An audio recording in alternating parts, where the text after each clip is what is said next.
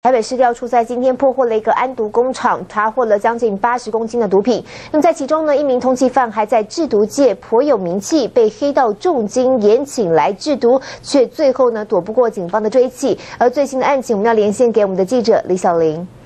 是的，这个制毒工厂啊，就隐藏在苗栗和新竹山区三不管的地带。警方在现场查获将近八十公斤的安非他命毒品，而从现场的原料来估计，还可以继续再制作大概两百公斤哦，是相当的吓人。而郭姓嫌犯是南部制毒界相当有名的制毒师，制作出来的毒品的品质比较好，往往在出厂之前哦就被各地的毒贩订购一空。也因为这样子呢，他才能够在被通缉逃亡的时候，还被黑道重金礼聘哦，不止供给高级别墅来休息，出入也都坐双 B 的高级轿车，前后都还有小弟护送。不过再怎么逃，还是躲不过司法单位的追捕而落网。以上是在市调处的最新情形，主播。好，小林带我们来看到这一起警方破获了制毒案的最新状况。